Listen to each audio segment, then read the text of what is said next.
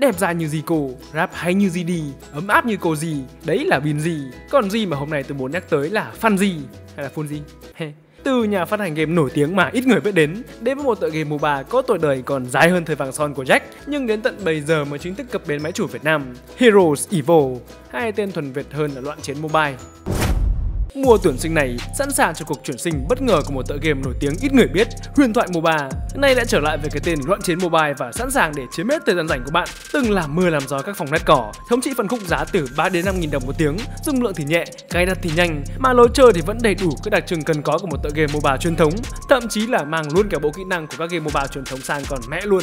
Đã có thời điểm con game này được coi là phiên bản nhẹ hơn của tựa game X danh tiếng, khiến nó nhận được rất nhiều sự quan tâm của giới game thủ, cơ mà không đủ quan tâm để tải về. Sau nhiều nhiều thất bại trong việc thu hút người chơi mới trên nền tảng PC, con game đình đám một thời này đã được nhà phát hành Fanzi mua lại và trao cho một cuộc đời mới sáng hơn với một bộ dạng rất trịnh thăng bình, tức là khác biệt to lớn hơn nhiều so với bản gốc. Cập bến nền tảng di động vốn cực kỳ màu mỡ, loạn chiến mobile đem đến cho người chơi một trải nghiệm hỗn tạp nhất bạn từng biết. Đến nỗi bạn có thể trà một ít nước đường vào và bán nó để cạnh tranh với chai thập cẩm. Một tựa game mobile truyền thống nhưng lại kết hợp đi cảnh, vượt ải, sinh tồn chạy bò và thậm chí là tích hợp luôn cả gacha cho nó lô đề may rồi. Khoan, vị huynh đài xin chớ vội quay bước. Dù hổ lốn tả pí lù là vậy, nhưng loạn chiến mobile lại cực kỳ dễ tiếp cận và làm quen. Có lẽ điều khó khăn duy nhất chính là phân biệt sự khác nhau giữa các chiêu thức này. Hóa thân vào một trong hơn 100 vị tướng vừa lạ vừa quen tới từ nhiều vùng đất khác nhau như Trung Quốc, Ai Cập, Nhật Bản hay thậm chí là bước còn mẹ nó ra từ thần thoại Hy Lạp để tới với trò chơi MOBA dễ nhất trên nền tảng di động. Khi tôi nói dễ thì là nó chỉ dễ cho đến khi bạn bắt đầu được phép đánh danh và bị hành cho không ngóc đầu lên nổi. Tiếng gì phế thế? Trụ bắn xa quá hồn. Đi tốc biến đâu? Má game này không tốc biến sạc để pin cho chiếc điện thoại thông minh nhưng cúi bắp của bạn để sẵn sàng cho một tựa game miễn phí, hot và nhiều lượt tải nhất trên cửa hàng. Nếu bạn không tính những gương mặt quen thuộc này với những chế độ đặc trưng mà game mobile nào cũng có như bản đồ 5 v 5 đây bạn sẽ phải để cho lương tâm và lý trí của mình cắn xé nhau để cân nhắc giữa hai phương án. Một là pick vị trí còn thiếu trong team để cùng cả đội giành chiến thắng. Hai là mặc kệ đồng đội, pick tứ tủ, hăng máu một cách bất chấp để cùng cả đội giành lấy chiến thắng. Đôi khi thua, tại đồng đội ngu thôi, không phải tại mình. Auto Chess, nơi sẽ biến bạn trở thành ông trùm lõi công nghệ lối đi riêng vì đội hình của bạn sẽ trái lệnh quan mẹ gì đến nhau cho tới khi bạn quá chán vì thua liên tục và đành phải đọc tất cả bộ kỹ năng của các con tướng. Ơ, à, thế chả giống một game khác quá à? Không, loạn chiến mobile có những cải tiến riêng của mình. Các bộ lợi thay vì ban cho người chơi khả năng nhất định thì lại ngẫu nhiên ban tặng các chỉ số như tấn công, phòng thủ, vàng hoặc tốc độ. Khu rừng thì giống như các chị em sắp đi gặp người yêu, mọi bụi cỏ bụi rậm đều được dọn sạch. Thay vào đó là địa hình cao thấp, người chơi ở vị trí thấp hơn sẽ bị khuất tầm nhìn người ở trên nếu không cắm mắt.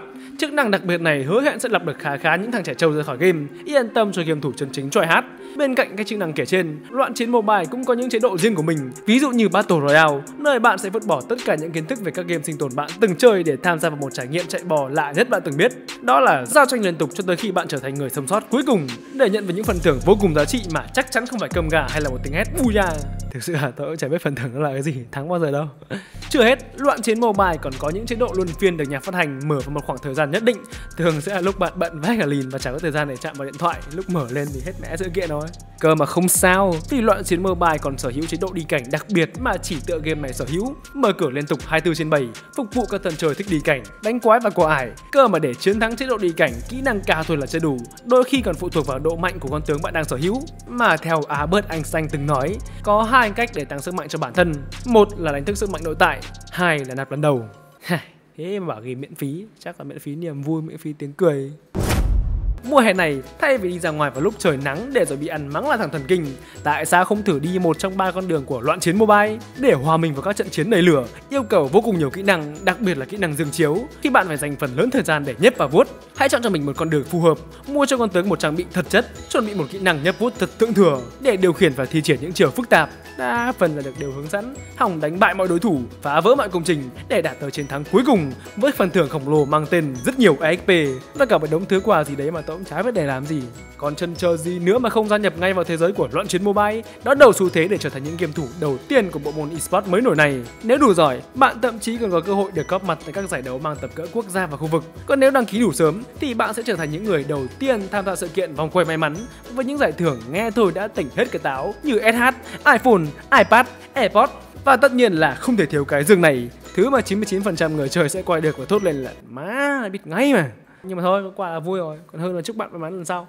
Với sự tham gia của Z nhưng không phải Z rớt nhưng mà lại sờ kin thò phở bò là giới tính nam nhưng lại skin nữ là một con só nhưng skin lại là nữ. Thế loạn vãi. Loạn chiến mobile và anh em đừng quên follow các kênh trong hệ sinh thái của Alpha bao gồm The Reviewer, Vui Vẻ, Người Chơi Điện Tử, Người Chơi Đồ để không bỏ lỡ những thông tin hấp dẫn nhất về phim, xã hội và game nhá.